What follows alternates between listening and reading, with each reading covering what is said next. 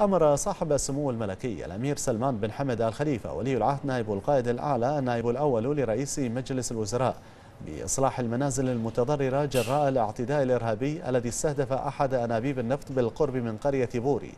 وقد وجه سموه وزير الأشغال وشؤون البلديات والتخطيط العمراني للإشراف على عملية حصر وصيانة المنازل ومحافظ المحافظة الشمالية لمتابعة الاحتياجات المتعلقة بهذا الشأن.